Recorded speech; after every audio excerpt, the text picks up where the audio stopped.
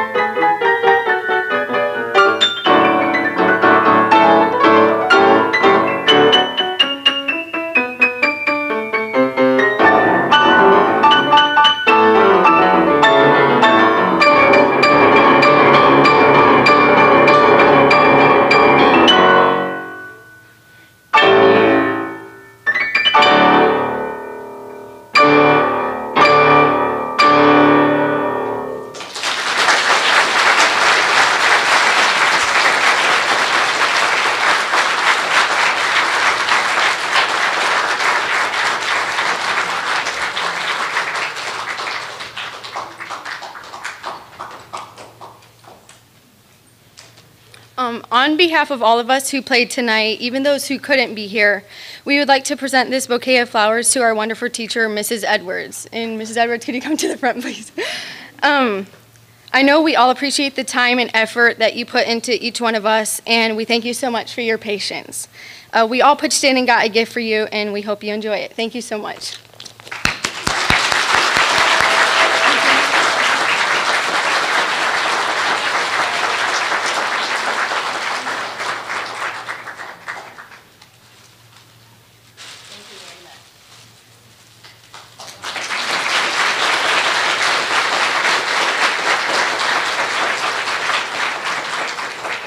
All right, so we're going to take an intermission um, for just a few minutes. Uh, high school students will be coming up here to get some things set up. I need guys to help me move the piano back a little bit and get some stands for our music and everything. Um, we'd like to have all the piano students who played tonight to come up on the stage for a picture uh, before, uh, during the intermission. And so then we'll take a We'll, we'll aim to start at 7, but I'm sure it won't be 7. It'll be just a few minutes after 7. We'll get going again with our instrumental selections that are on the other side of your program. Thank you, and see you right after 7 o'clock. Piano students, please come up for a picture.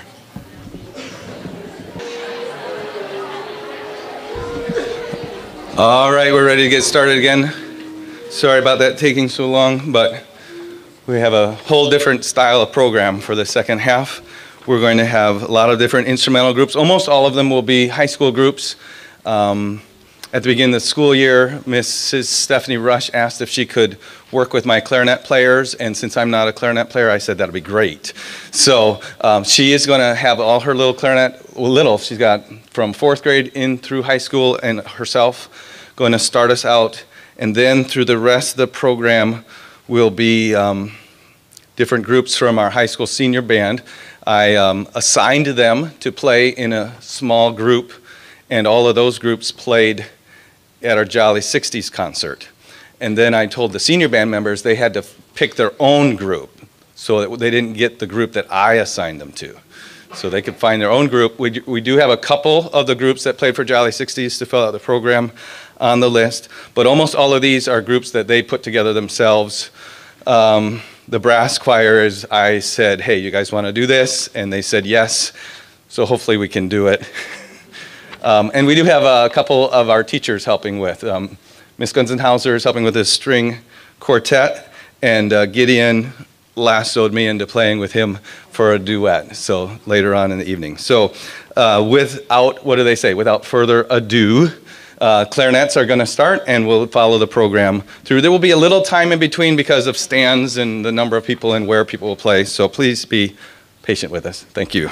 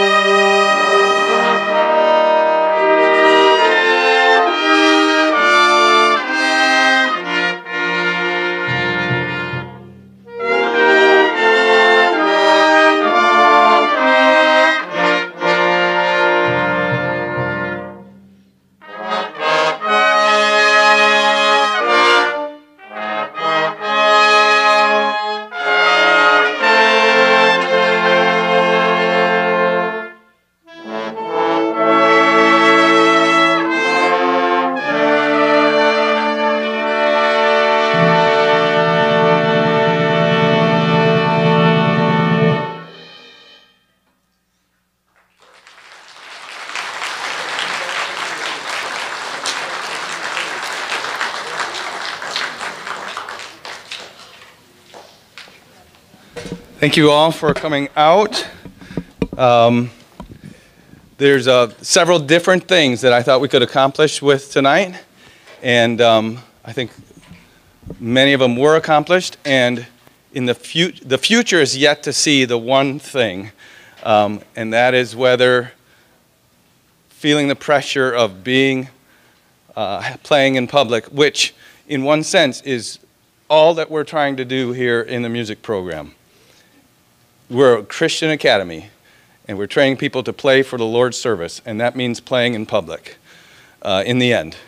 And so the pressure of playing in public, the remembrance of how well or the few or a lot of mistakes sometimes that you did, or how you presented yourself, hopefully we learn from that.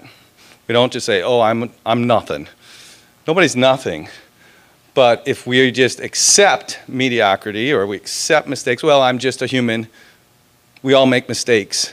Uh, we we, we want to make sure we don't have that. So I encourage you, parents, I thank you for all the, um, you listen to this stuff at home. and uh, thank you for uh, helping your students and encouraging them in the different ways that you encourage them, whether it's uh, do it now or that was good or whatever. Um, but in the end, uh, we, want, we want this and what we're training to do to honor and glorify God. And so I encourage you, besides just encouraging all the time, help them to learn from what happened tonight. It was a great night, but every one of us made mistakes. Every one of us, even me. Okay, so and we can learn from that. We can we can make ourselves better. We can work harder. We can say, you know, I could have done better. And if we can do better, we ought to do better. We ought to. So um, I'm trying to be encouraging because I'm very pleased with what happened. But one of the things that we want to do is learn from it and learn in the future from it. So thank you again for coming. Um, I don't see Mrs. Mitchell, so she must be down in the dining room with some uh, finger foods and snacks that uh, everybody who wanted to could bring. So we welcome you to go on down to the dining room and fellowship and talk about how great we did. and um, uh, a parent wants a picture of band members. So, yes,